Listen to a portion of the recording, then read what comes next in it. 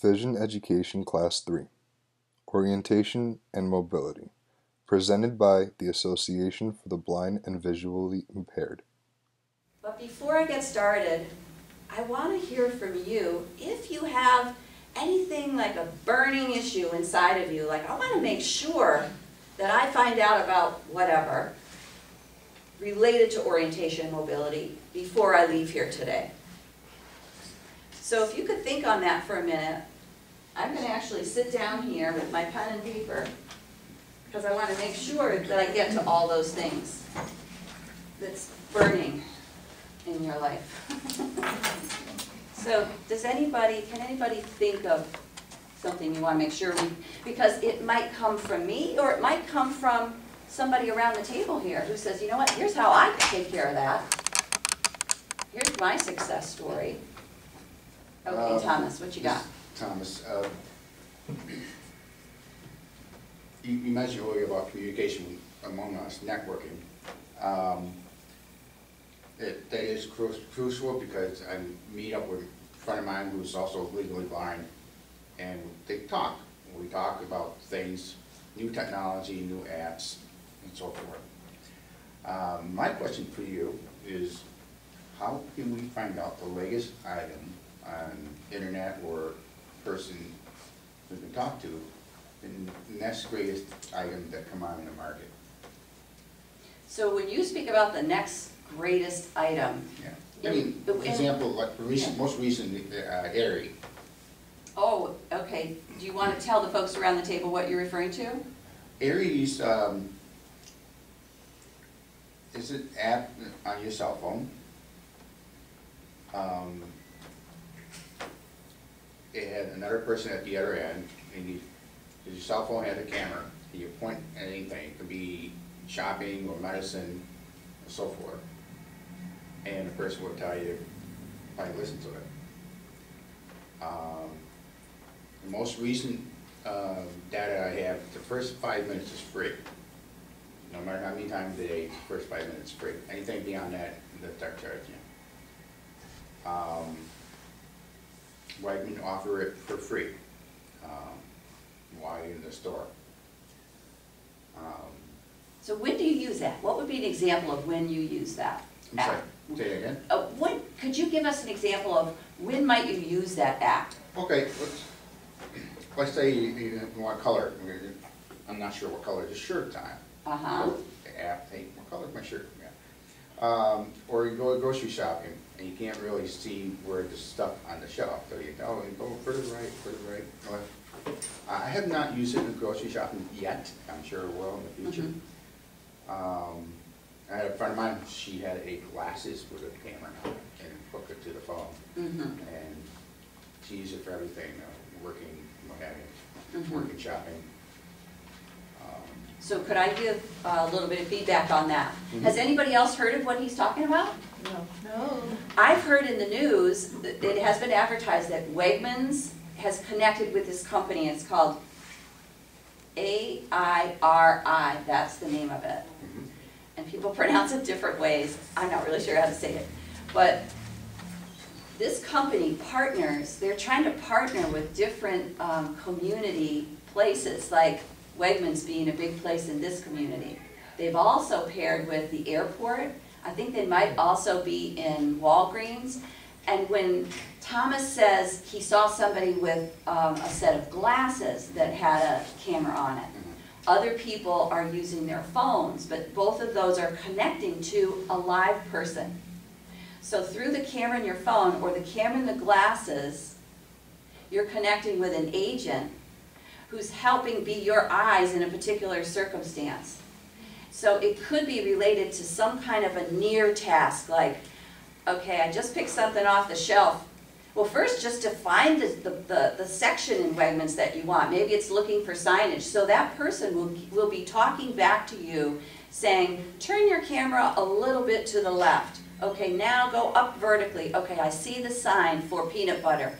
Yes, aisle number seven. So walk about, you know, 15 feet and it'll be on your right. You know, so I'm not clear about each one of you around the table here, how much vision you have, um, or if you have no vision. either case, this operator on the other end is gonna help you. They're not gonna be your mobility instructor, they're not gonna teach you how to get around, but they'll kind of put you in the direction of what it is you need to accomplish or find. I talked to this one woman and she has no vision. She is raising children. She's in a parent, you know, teacher meeting. There's a room full of people, probably about as big as this, because her child is getting all kinds of services. She's wearing these glasses, and before she goes in, she talks to her agent. She says, I want you to also tell me what the facial expressions are around the room in response to what's going on. If someone's rolling their eyes, if someone's shrugging their shoulders and flying their hands around, I need to know this, right? So isn't that an interesting way to use this service? When it comes, when it comes to uh, what I'm talking with you about, it would probably be, it might be um, at some point like looking and reading a particular sign when you're out walking, you know, getting from here to there and you're using a walking route somewhere around town. It could be when you're in the grocery store, again, it's mostly connecting to signage type of things. Um, and like you said, it is a service that does cost. Unless you're in one of those settings, though that organization, like the airport and Wegmans and Walgreens have said, we'll pay for it. So anytime you're in there, it doesn't cost you anything. Because when you pay for the service, you pay for so many minutes, so much support every month. And it can be very expensive. So I wouldn't even want to speak to how much it is because they're a relatively new company over the last couple of years and they're really trying to get the price down so that it's accessible to people. But how would you find out? That's what you mean, like the latest thing that can help me do life with vision loss. There are really a lot of sources out there. I mean, here at our agency, the person, in, if it's technology related, like um, I have technology too. One of my low-tech technology things is if you're trying to mitigate glare, whether it's indoor or outdoor, wear a visor. Okay, so that I would say is like a device, but it's low-tech. Eh? Um, but also there are websites, like you could even just, like you say, go to the internet and type in, what's the latest, you know, tech mm-hmm. device for, you know, people with vision loss or whatever. Have you connected with, there's a, there's a guy who is living with vision loss, he has a particular diagnosis, he's a, he's a husband, he's a dad, and he has this YouTube channel, and he's constantly um, actually reviewing the different, he, he's a technology guy, and he, he loves reviewing for other people with vision loss each new item as it comes out. And he, he approaches the companies, he tells them what he does, they lend him the equipment, and there he is talking with you about it. And depending on how much you're visually able to access with what he's doing, he's actually showing you the things. But he can talk you through it as well. He's very accessible. He's really, he's got good sense of humor. Mm-hmm. And he also then refers you to other folks that are doing the same sort of thing and the companies. And then there are um, national organizations related to vision loss. There's the NFB and the ACB and the, you know, so just you could look up, you know, organizations for the blind and then boom, boom, boom, they'll all come up. And the, the, the NFB, the National, it might be Federation of the Blind, a lot of people who belong to that have no vision. And they're constant, they're very up to date on some of these technology issues. So you might try that one. Okay. Is that helpful for now? Very good. Anybody else? Did that bring up any other questions in the, in the room? Part of my understanding of why we're even getting together is so that you can understand what some of the resources in the community are to help you as you continue to make your way with vision loss. And I have a specific area that I would love to check in with you about and share some of those resources, including what we have to offer here at ABVI Goodwill. And as we do this, I, I understand there's another component, and that is not just you hearing from me about what's out there to help you as you continue to live life, but how you can learn from one another. So that's the benefit of you all being here around the table with one another. So I'd like to make this conversational. if at any point you're not hearing me or you're not understanding what I'm saying, or the same thing with your peers around the table here, I would love for you to stop us because I want us to be all together as we move through whatever we move through in the next hour and a half. Does that sound reasonable? Orientation and mobility. I'd like to mention what that is to me and then maybe hear a little bit from you what it means to you.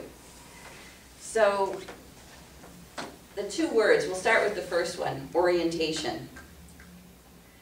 It's about that question you probably have daily. How do I make sense of my environment when I maybe can't see clearly beyond arm's reach? So that's about orienting, for example, just in this room right now. Where are the people in this room? The places in this room, like the exit door, the things in this room, like the refreshments. There are a number of skills and strategies and devices for how you can make that happen. And that's a lot what we're going to be talking about today. But once you figure out, you know, where everything is and where, you know, space-wise and how do you get from here to there safely? I mean, from your chair over to the refreshments or to the exit door.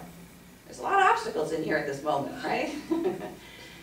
and this translates into, you know, your home environment, when you're out in the community, particularly to unfamiliar places.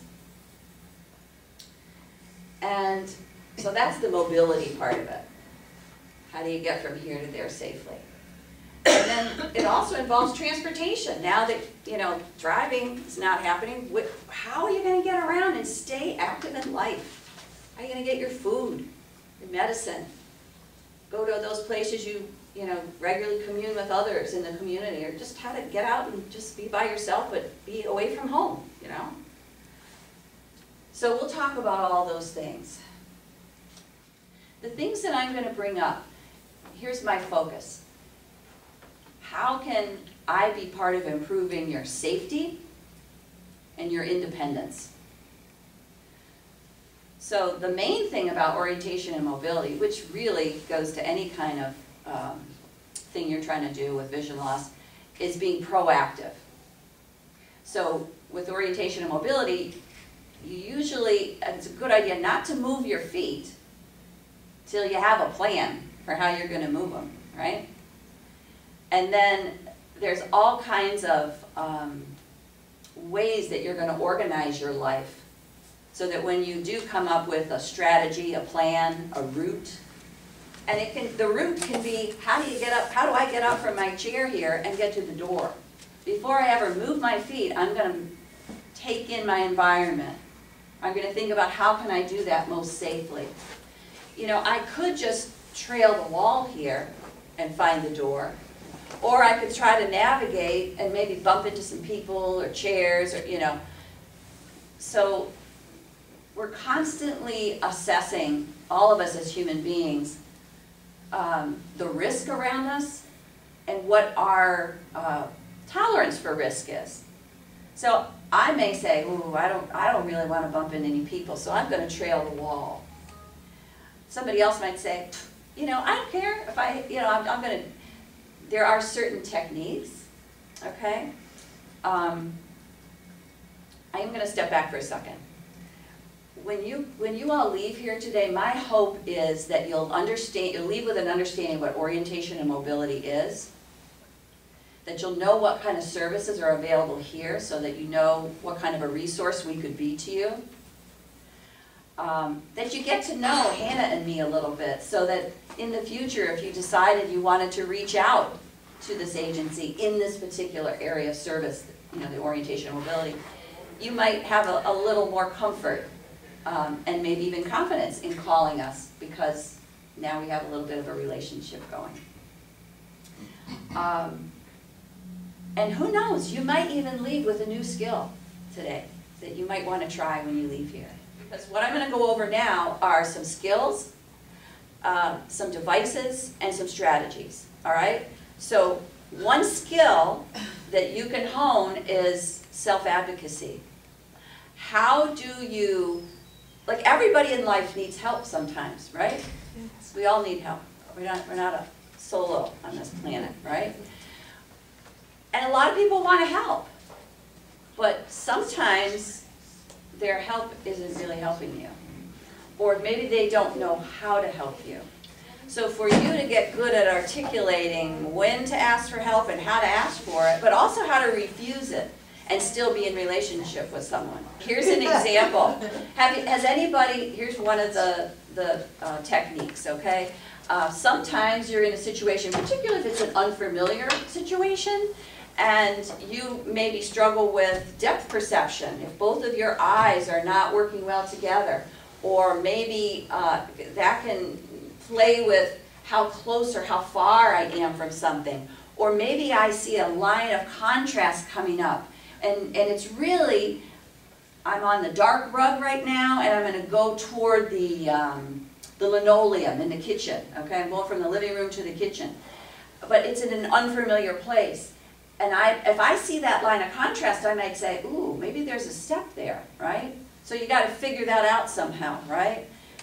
Well, we have a, some ways to do that, but let's say you're in an unfamiliar place, so you said, you know what, there's a lot of people around, I don't know this place, um, could I hold on to you? Or they might say, oh, here, let me help you, and they grab you, and they hold on tight, and they start pushing and pulling. Have you had that experience ever? Yes. So it's really scary, right? Because they have an idea, they think they know what's going on, but you're clueless as to their thinking. Sometimes they're telling you, but sometimes they can't get the words out soon enough and they're already pulling you in a direction that, or at a pace that it's just not comfortable, right? So we call this technique sighted guide or human guide. And the, the key part of this is you are the one who's in charge of whether you're connected to your guide or not. So not them holding on to you, but, and so then if they grab you and they start that, you can say, you know, I do a lot better if I hold on to you. And then what you would do is you would follow this technique if it worked for you, which is, um, would anybody be willing to be, uh, uh, do it with me right now? It would be standing up and just walking around the room for just a minute. Okay, Mary Lee, she's popping right up here, she's to my left. All right, so Mary Lee, would you have a comfort level for me being better on your right or your left as we, My right. okay, so I am to her right, and I'm gonna suggest that you, um, I'm gonna just take the back of my hand, and I'm gonna find the back of her hand. So I'm the one with the vision, and I wanna connect with her, but I don't wanna be too, um, familiar, you know, this is kind of intimate, right? So um, I want to let her know I'm here and I'm ready. And what she's going to do then is trail up my arm until she finds my upper arm just, you know this one, Carl? I heard you say yeah. She's going to find just above my elbow. Now, I'm going to ask her to hold this upper arm in a certain way. I want her to hold it like she's holding a can of something, all right? So the thumb is going to come around one side, and the fingers on the other, because that's how she's going to stay connected if we get a little jostle. She's got a good grip. But she's not putting a tourniquet on me, right? I'm jostling my, my arm and she's kind of finding, oh yeah, I don't have to hold that tight. This is good. Just want to make sure we're always connected.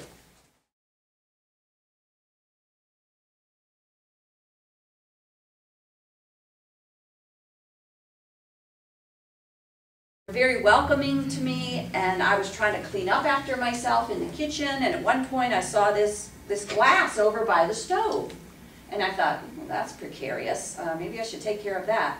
But then I also knew to ask and he said oh no that's where I always keep my glass right? And I said okay not touching it kind of thing. But let's say he's going to find that glass. He knows exactly where it is in the kitchen in that it's by the stove, it's that there's this little slender uh, countertop right next to the stove, right? So he knows it's always gonna be there, and he always, he knows it's always gonna be toward the wall along that, you know, rectangular strip of countertop, right? But when he goes to get it, he has no vision, so if he just like reaches his hand out, he's probably gonna knock it over. So there's something called organized search, right? So what he might do is get himself to that part of the kitchen, and there's actually a wall there, and he uses his, like Mary Lee was using her upper protective technique, so he finds the wall, he trails down the wall till he hits the countertop, and then because the glass is, a- is a glass that is vertical, right? He's then gonna very gently move his hand horizontally across until he very gently comes in contact with the glass and then picks it up and drinks or goes and does whatever with it. So that thing about having an organized way to do it. Otherwise, he might just knock it over, right? Does that make sense to you all? And are you doing things like that already? It happens. No. Okay, all right. Um, here's another thing. Um, so let's say I wanted to walk around this, um, room and find an empty chair at the table, at the table with you guys. So I might stand up, and something I might do, nobody in the room might notice that I'm doing it, but it's really huge for me. I'm gonna trail the, the, the, the edge of this table that I'm at right now, because I have some vision. I'm guessing a lot of you have some vision, is that right, in the room? Okay, so the key is to utilize all of your senses as you're going about being organized and ex, creating and executing strategies.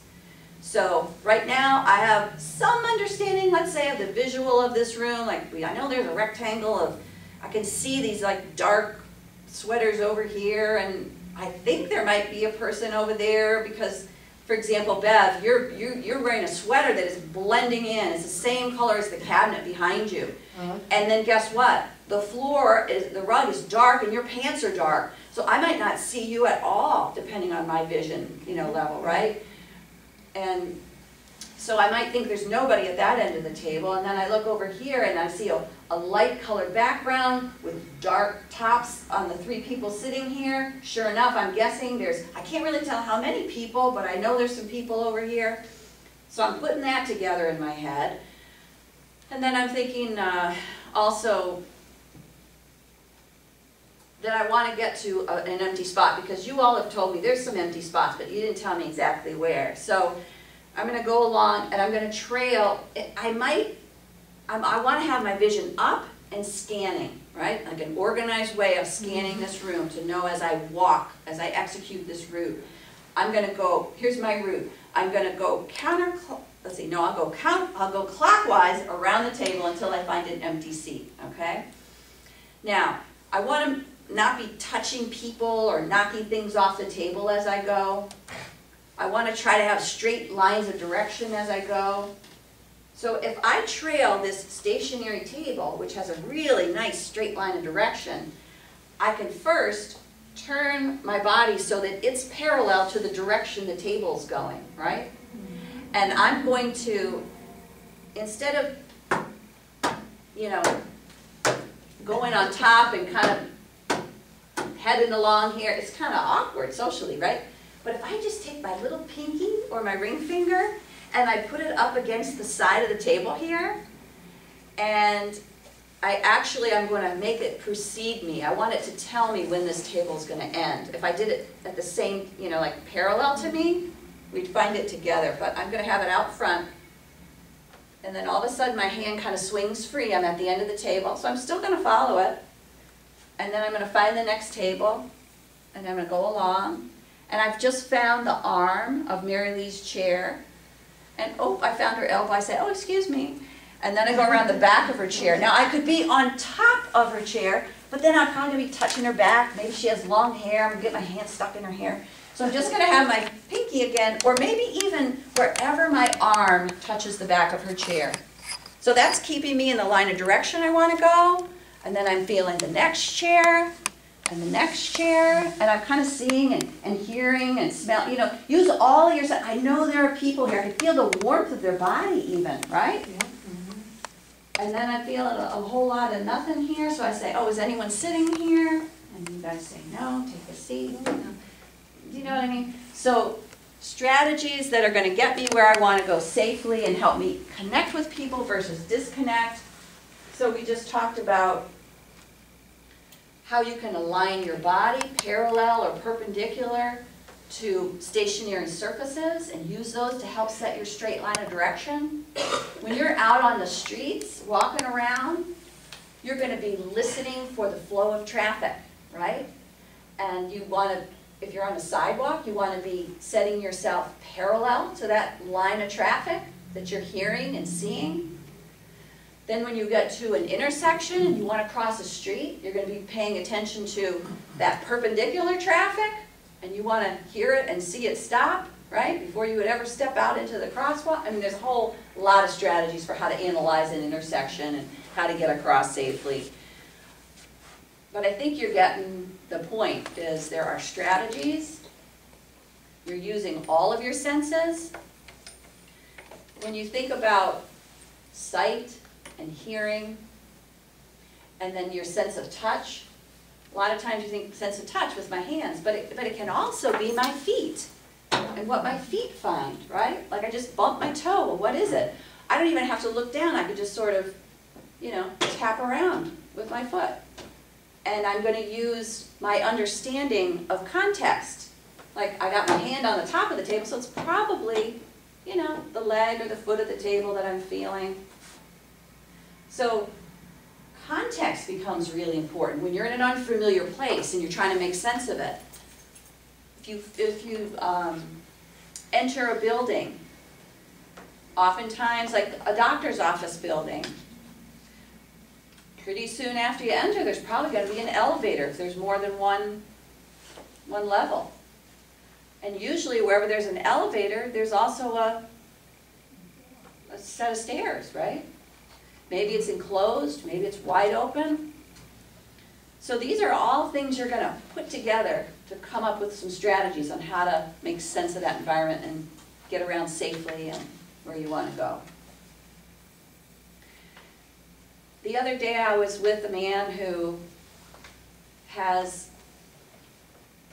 had vision loss from a lot of his life and recently he had another drop in vision and he just moved. So he's trying to get to know this new environment. So as he's coming up with his mental map, we're just beginning inside of his apartment. And his apartment is, I would say it's a studio, even though half of it is somewhat sectioned off by this kind of makeshift closet, right? But it's basically one room. And there's a kitchen and a living area and a bedroom and a bathroom. And it's one of those kitchens where the cabinets come down and then they stop. And there's all this space. So you can see through from the kitchen to the living room through this space. And then there's the countertop. Does that make sense to you as I'm saying that? So here's what's happening. Whenever he tries to get to the kitchen, there's this corner that seems to be like floating in space, right? This sharp corner. And it's right at his eye level he keeps bumping his face on this thing. So we kind of brainstormed together, how could he get around his apartment when he really can only, at this point, he can only see like shadows kind of thing, like bright light and dark? Well, one of the things is maybe he could take a different route. So any route, whether he's coming from the bedroom or the living room or coming in, inside from the, you know, entering the apartment, take a route that is away from that danger, right? Trail the wall on the other side, right? Or he really likes to, he really likes to go there near that. So I said, well, what if you trailed up, up above? You know, so you're actually holding on to that wall so you can find that corner with your hand before your face ever hits it.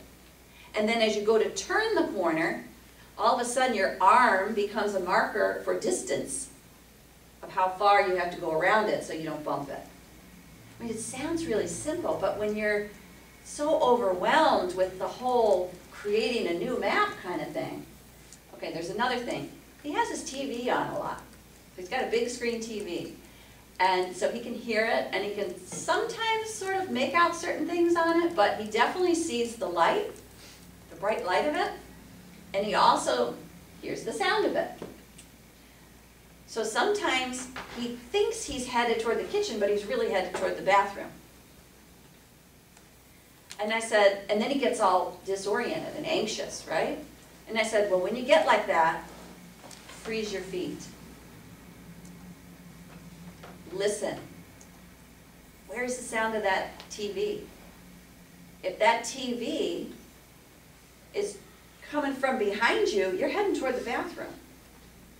If it's on your left, if you keep going straight, you're gonna find the kitchen. But this could be any of your senses. It could be like when you're, even sometimes people in their apartments, they have this one big window and the sun's coming through. So it could be wherever the light source is. Maybe you're feeling heat from the sun. So your sense of touch is also, you know, that warmth of the sun on your skin. If you're walking down the street, you're following a line of buildings, then all of a sudden whoosh comes a big whoosh of air. Maybe it's an alleyway, or maybe it's a, uh, you're coming to the street corner. So you're gonna feel that on your skin, right? And then, you know how when you are leaving a doctor's office building, you're going out the front door, you're going to the sidewalk, you wanna head, up, you know, across the parking lot to a vehicle? Oftentimes there's a blended curve, or the, you know, the curve that, there's a decline, and all of a sudden the curve is, you know, flush with the, the driveway there. So you're gonna also feel, you're like your sense of, it's where your body is in space, you're gonna feel yourself going down that decline. And then have you ever noticed those bumpy, um, those bumps that are on the, yeah, I see you, Calvin. Yeah, so that, those are for people with vision loss, did you know that? No. If you ever feel those under your feet or see them coming, oftentimes it'll be this rectangle of these bumps, they're called truncated domes. The whole thing is called a detectable warning surface. Sometimes they're of a highly contrasted color with the sidewalk. Sometimes they blend right in. They can be made out of really hard plastic, they can be made out of, just like imprinted in the sidewalk. And they're there to tell you that once you detect those, if you end up walking to the other side of them, you're gonna enter vehicular traffic. So you're leaving the sidewalk, you're going into either a loop where cars come and drop people off in front of that office building, or maybe if you're at the corner, you know, a traffic light corner, you're gonna step into traffic. If you are going from one corner to another at a traffic light, those come in handy because you leave one set of them, you go across your um, crosswalk, and then once you feel your feet hit the opposite side, there they are again, you say, I'm at the sidewalk, right? So these are tactile cues, they're uh, visual cues. So whenever you're putting your mental map together, you're bringing all of your senses and any kind of cues or clues into that. And that's when you plan a route, you're gonna think of, okay, I, I know if I get to here, then I can get to there. And then once you start executing a route, you're gonna use those clues as information to confirm that you, where you wanna be along your route, right? So dynamic or ongoing orientation. But there's another thing landmarks. Think about how a landmark and a cue might be different. Like in this room, there's this smart board to my right. And it's got these feet that are coming out at the bottom and it's on rollers. There's only one of these in this room. So once, you know, like you guys have been coming here a few weeks, whatever, and let's say, Carl, you come toward me because you want to, you know, come this end of the room to get out the door, whatever. You might knock into those feet one time because they're the same color as the rug, right? So if you did, you might stop for a minute and you might say, where am I? Oh yeah, there's the, okay. So once you know and recognize this landmark, which for you might be visual because it's got the big white screen, but it kind of blends in with the white wall, so maybe not. Maybe it's just that bumping into it with your foot, you say, oh, there's that smart board again.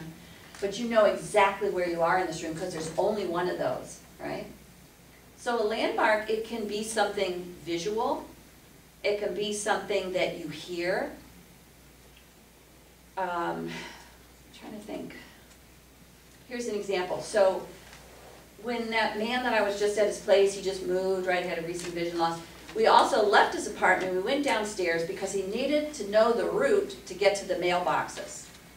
Well, the mailboxes are right across in the same hallway with a, with a five, uh, like a whole bank of, um, snack machines and drink machines, which are constantly humming, right?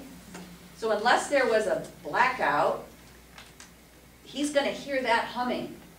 So as he's going down the hallway, that's one of the landmarks, the auditory landmarks he's gonna be listening for to know that he's getting close to where he has to turn to go to the mailboxes. There was another time where I was with a eleven-year-old out in front of her school. And we were taking an outdoor route, and it happened to be a windy day. And she knew that she had to turn left to get to the main entrance if she heard the flag waving. You know how you can hear that whipping around up there?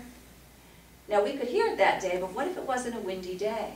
So that's one of those auditory clues or cues for her. Whereas if, sh if her cane, as she was sweeping it back and forth, hit the flagpole, you know, that's a landmark, because it's always gonna be there, right? So, I'm looking at the clock, it's eleven o'clock right now, so we have thirty more minutes. I just wanna check in, if I could hear some voices around the room, am I on the right track, is this helpful? Seeing some yeses, see all yeses, yay. All right. So is there anything that's coming up? We have thirty more minutes. I got more to share, but is anything in your minds that you wanna make sure we address as a group? I just want to ask you one question. Yeah, sure. Like, say a person can't see, um, you know, um, they can't see, they just see colored like, and they have to go across the street. Yes. I wanna know, how do they know? The car stop. Yeah, if the cars have stopped. right. So are you saying that they wouldn't be able to necessarily look at the traffic light and know what's going on? Right. They Right, wouldn't necessarily be able to look at the pedestrian signal and know what's going on? and they're the only ones standing there, how would they, Yes. Okay, so there, there are a lot of strategies. In general, you do have to have pretty, if you're not being able to connect with things visually, you do need to have good hearing.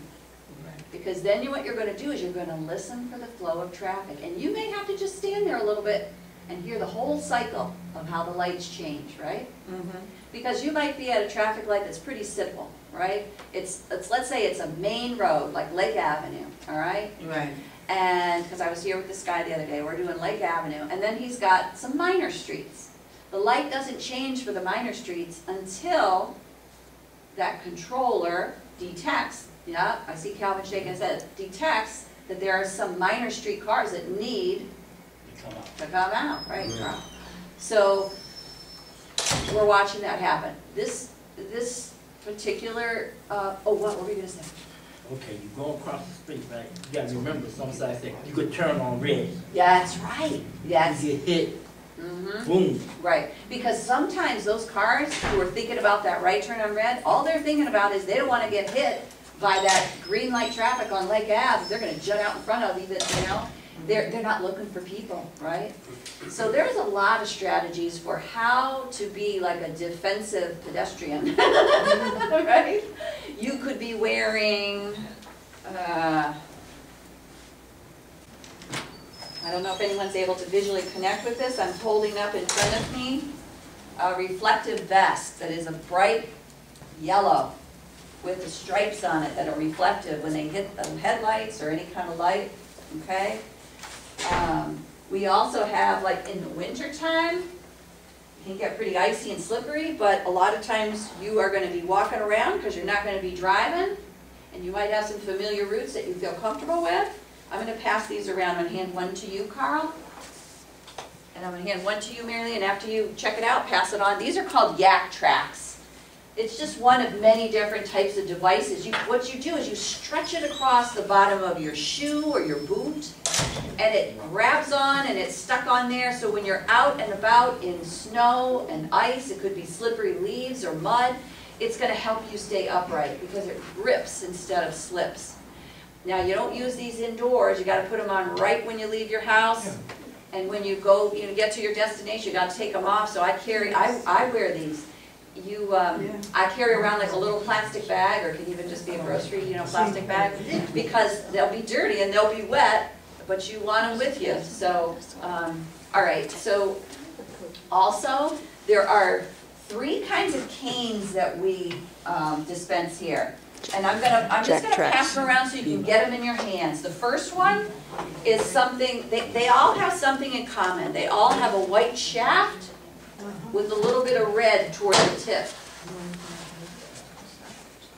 And supposedly, the, the, we all know that if you see somebody walking with a cane with a white shaft and a red tip, that means they have a vision loss. But Right. truly, not everybody knows that. You might have to be an ambassador for people with vision loss and help people explain, right? Uh, Yeah, go ahead, Alice. Um, they don't have dogs with them anymore?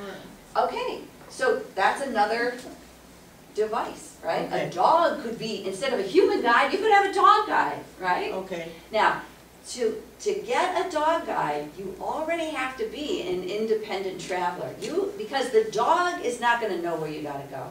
You gotta give commands to the dog. well, how does he know to cross your street, cross your, cross the The dog does not know when it's time to cross the street. You tell the dog. That's a really good question. Yeah. Now, what happens is the dog is also trained that if you give the command to cross the street and all of a sudden something dangerous comes off, come, happens in the midst of the, you know, that can happen, right? Right, The dog will override your command and stop. and make the team safe, right?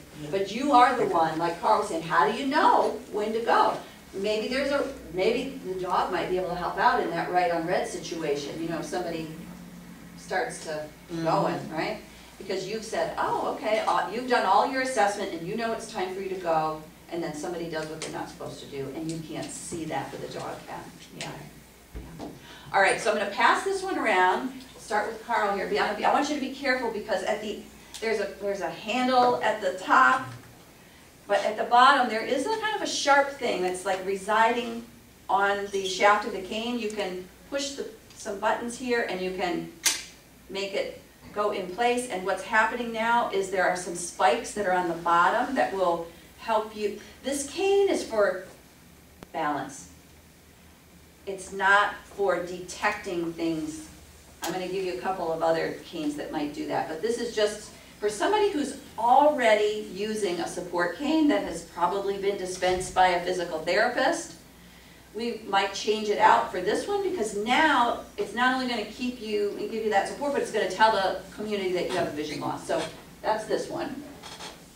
And then remember when we talked about getting guidance from somebody, you know, like the sighted guide? Sometimes if that's happening, you might carry this other cane I know what you want. I've got it in my hands right now, oh. and it is like about ten inches of five different segments, it's all folded up. I'm gonna come over here, step near Carl, it's gonna make kind of a noise here, because I'm gonna unfold it.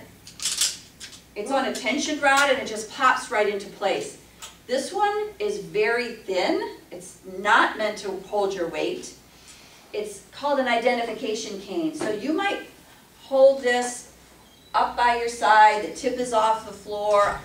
Um, I'm holding on to my sighted guide and I'm, I'm holding this while we're walking as a team. That way, everybody around us, if they understand what this cane means, will very likely get out of our way and give us Right. lots of room, right?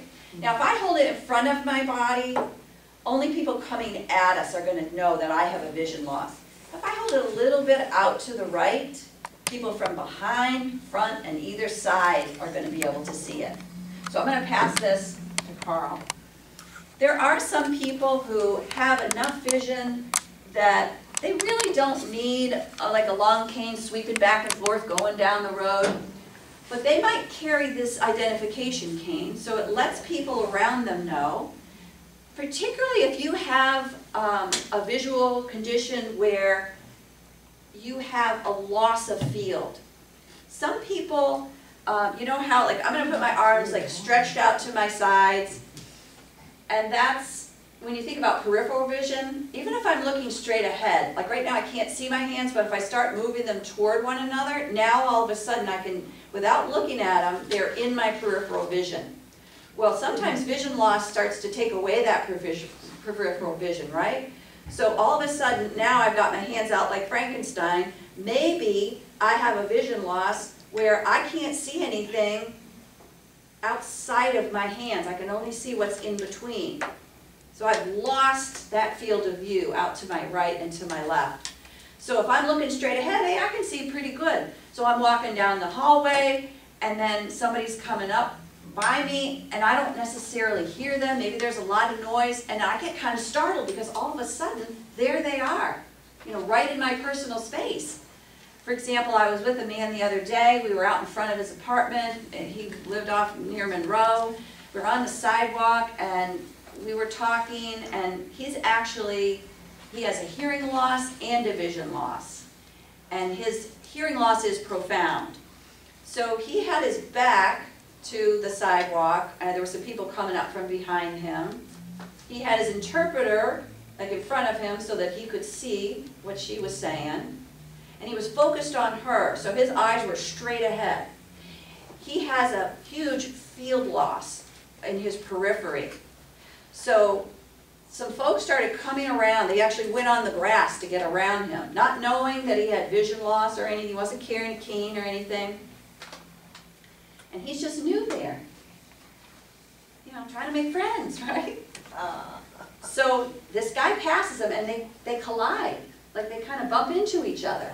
And this guy turned at him and really let him have it. He couldn't hear him, he was in that field of view that he'd lost, so it was as if he wasn't even there. And he didn't even know that the guy got so upset, because the guy just said a little something and walked on.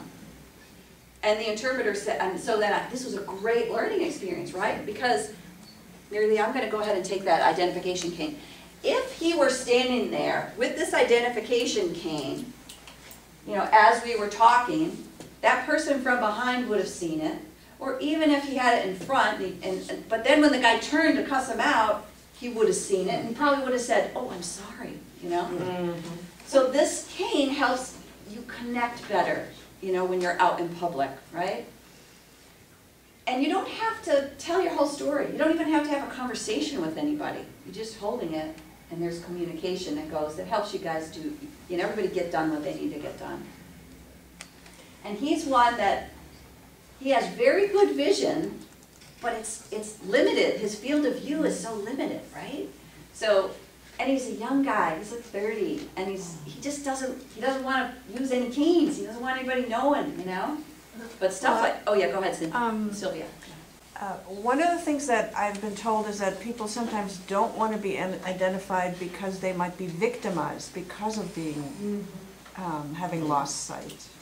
So How, that's, how would you deal with that? that's a really good point, and I'd love to talk about that right now, if that's, is that, folks around the table wanna hear about that a little bit? Yeah. All right, so let's think about if you, if you did not have a vision loss, and you're planning your day, and you wanna go someplace. You're gonna make some decisions that impact your safety, like, I'm gonna go here, I'm not gonna go there. I'm gonna go here, I'm not gonna go at midnight. I'm gonna go here when there are more people around, because if there are more people around and the more eyes on me, the, the less likely I'm going to be a victim of a crime. Same thing if you have a vision loss. The more eyes on you, the less likely somebody's gonna get away with something, right? Mm-hmm. But there's another part of it, and that relates to the services that we're talking about here today, the orientation mobility services. You've already seen how some of these techniques help people to see you as confident and competent. And people who are looking for victims, they're looking for someone who is like looking down at their phone, you know, not really paying attention to the environment. That's all you guys do, is constantly, you know, check out your environment, right? A lot of times people, when they see, and I'm just gonna open it up, I've got that long white cane. it's gonna make a noise here. And I am gonna pass this over to you, Carl. Um, it's, you'll notice it's a little thicker than that last cane, but not as thick as the first one. You're not, it's not to hold your weight. It does, it is foldable, so you, you know, you can bring it out when you need it and when you don't. And check out the tip near the red. It's got a rolling tip, okay? While you're out there and you're, you've got your cane going back and forth, right? You're gonna be using different strategies to, to move through that space, and you're gonna be very organized, and, and that's gonna come across. So you want to be well-trained in how to navigate spaces, so that as people look at you, they make assumptions about, ooh, I'm not touching that one, that person knows what they're doing, right? So does that make sense to you, those strategies? Okay. You see how, are you able to, um, Yeah, I feel those bumps on Okay. the rug. yeah, and what about this, this change of color here? Uh, there's a light, I don't know, are you see the bright light from the sun? Yeah, All right, so my point is, if you're in an unfamiliar place and you see that change of contrast, you need to check it out. It could be a pothole, it could be, a- not inside, but here and like that. It could be a step or something, you know, you just mm-hmm. wanna, you just wanna confirm.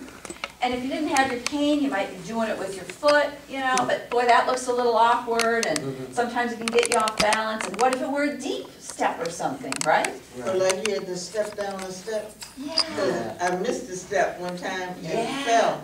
Right, so, so this cane is out in front of you, Alice, It- this cane is out in front of you like two and a half, three feet. Uh-huh. You're swinging it back and forth, all of a sudden, boom, you feel it in your, your hand goes down, right? And the, the, the point is, it tells you so that you have enough time and space, Right. and what you do is you, you use it as a marker. You'd hold it right there, and then you'd walk up to it, and then you could kind of explore what's going on here. Is it one step, is it several steps? I done fell down because I didn't know it was a step. Yes. And then, uh, one time, it was in the winter time, last year, I was going to Macy's, there was a step, but I was running my mouth, so that, I understand. Yeah. And I fell, everybody got my face, and Oh, everybody said, are you all right? I said, yeah, I was Yeah. fine. I Uh-huh. was more embarrassed than, Right. because right. I shouldn't have been running my mouth, I should have been watching, looking down. Oh, and you up. just made a good point. This cane, if you learn to trust it, it's gonna tell you things so you don't always have to be looking down. So you can actually have your head up and see, hey, what's coming next, right? That's why uh, my head was up and Yeah, right, right. So, so that's another. So each one of these canes have a different purpose. If you have enough vision that you might not need constant contact with the ground in a preview, you might take that identification cane, that thinner one, and just pull it out when you need to explore. Or when you're in an unfamiliar place and you want people around you to know, I have a vision loss. Because when you don't have this out, like that man on the sidewalk who couldn't hear or see the person coming around him, you know, just made for an unpleasant situation and it didn't need to be, you know? Mm-hmm. Okay. Oh, glare. Can we talk about glare a little bit? Mm-hmm. So in this room, is anyone is experiencing like the lighting is just not, whether it's the natural stuff coming through the window? Did I see Kim, you raise your hand? Which is it? Is it the overhead lighting, the windows or Yes. both? Combination. Okay, combination. And I noticed that the, the glasses you're wearing have a tint to them. Yeah, it's still not enough. It's still not enough. And I'm wondering, do you mind if I come close for a minute? I want to see, oh, I can see it from here, I think. So there are tinted glasses that have kind of a shield on the top and a shield on the bottom. So I'm wondering, well, I have a pair, do you want to just try them real quick? I brought some, some glasses. For example, I, it's kind, of, what would you call that color that you, that you have there? Purple. A purple? Okay, so I have one, I, I'm calling it a plum.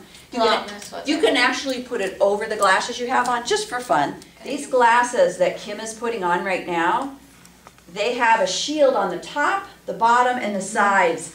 So that instead of this overhead lighting coming, you know, like, I'm looking around the room, everybody has glasses, including me, well, those that are wearing glasses, where the light can come and reach your eyes, because there's nothing keep, Wait, do you have the shields? You do have the shields, don't you, Thomas? You The just put one- one, Okay, yeah. Does that make a difference, Kim? The shield on the top right now, or? Um, a little bit. So do you wanna just keep those rolling around, pass those around? And I'm gonna pass another pair around that is a different color. So as you try these on, if you're willing, you don't have to, but, um, you can wear them over the glasses that you have. They come in different color families. There's yellow, orange, plum, there's, there's- and on and on and on. And what people will do is, they put them on and some of them say, oh, it's like a balm. You know, all of a sudden they don't have to squint so much. And sometimes they say, like when these, these yellow ones come around maybe, but I think it also happens with the plums. If you look at something that generally is pretty blurry, sometimes it comes a little more into view, like, um, a little, the contrast is improved. Safety glass. Less glare, yeah. Okay, so if you've ever seen anybody wearing sunglasses indoors, this might be why. You might have something going on with their vision that they're very sensitive to light. And so some of those um, outdoor sunglasses, like here's an example of one. um, They have the shields on them too, so you wanna just check those out. There's one thing we haven't talked about, transportation. So in general, I want you to know that every county in New York State has an Office of the Aging, and every Office of the Aging has a um, transportation specialist. So if you are not driving, you can call them, and it's, it's called New York Connects, and I think it's in the, is it in the notebooks there? There's one number you can call, because there's like 17 pages of options out there these days on transportation options. And instead of me trying to tell you all those right now, and they might not even be up to date, there is this one number that you can call, New York Connects, because it is one number for Monroe County. And what you do is you tell them, you say, you know what, I need ideas on how to get to uh, my senior center, how to get to my church, how to get to where I get my hair done, you know, where, it can be to go to my friend's house, you know, it's whatever you want to do. And then, instead of you having to visually, they don't even have it online anymore because there's so many parameters to each one, like, this one is church related, but they'll take you anywhere in Monroe County, but they only do it on Mondays and Thursdays Oh. from nine to three, and, and they don't, doesn't cost anything, but then there's, like, there's something called the STAR program, I don't know if you guys have heard about that, that's related to Catholic Charities, and that one is, people really can depend on and have had really good luck with, and they, I, what is it, you wanna mention, I'm sorry, I didn't know your name? Oh, sorry, I'm Carmona. I used to work Hey, for Catholic Family Center and Ca- Catholic Charities, and so Okay. the STAR program, they, they take you uh, grocery shopping, they take you to uh, doctor's appointments. Um, you just call in advance to kind of set it up, and they can do it ongoing, you give them your appointments in advance. Have you got to be a Catholic? No. Some of them are if you're only members of their church. Yeah. Some of them are only if you're in the zip code, like there's something in Brighton and Penfield called Bride Pen Senior Yeah. Volunteers. Yeah. Do you have to have, uh, like, a, a, a doctor's note or eye test that you truly do indeed need this vision? No, because it isn't just for vision loss, a lot of these options. Okay, It's for anyone, for whatever reason, they're not driving. okay. Now, it is for seniors in general, and then if you're younger, then Disabled, Yeah, disability. Right, it's just, Yep. you're not able to drive. Okay, now then also in our community, and this is how it works all across the United States, if your community has a, a public, uh, bus system, and you are not able to for whatever reason, and maybe it's because physically you can't wait at a bus stop, or, um, you can't walk that far, you, uh, you know, uh, maybe it's visually, you can't connect with the schedules, you know, um, you can't, what, you can't even see the bus signs when you're near a bus sign, you can't see, whatever, for whatever reason, you can't use a fixed bus route system, there's another system that's related to the bus system, it's called RTS Access, has anybody heard of that? Not Kim's shaking yes, it used to be called Liftline, you know that, but it is a new, it's called RTS Access, and that is one that you do have to apply for, and you do have to have some kind of documentation of whatever your ability is that keeps you from using the fixed bus Right. service. So it might be, it might be, uh, like, we will help you fill out that application. Um, it is not able currently to be done online, but we have worked it out with them that I can email it to them. They want a picture, they want, um, a signature that says everything is correct. You answer twelve questions, which are very detailed, and I would say rather tricky, because they're saying, can you walk nine blocks? Well, let's, Yeah. let's say you say, I am physically able to walk nine blocks. You can't just say that, you just have to say yes or no or whatever. Right. Um, but think about it, if you walk nine blocks, you're probably gonna have to cross a street somewhere. Yeah. Maybe that street is a busy, you know, traffic light intersection. Are you able to currently do that? Now, there are, with training, maybe you could do that, but if you don't have training right now, you need that service, right? Yeah. And maybe you would never be able to do that for other, like, co-things going on with you, right? So, um, anyway, they would review your application, and if you do it through us and you give us permission, you know, we can tell them what your visual acuities are, and that helps them understand that you have vision, you know, that you're legally blind, or you have low vision, or whatever. Um, so that's why we can help in that way. And then also, like if you're going grocery shopping and you need a little bit of support, a lot of the places you can go to customer service, like Wegmans. All right, everybody, thank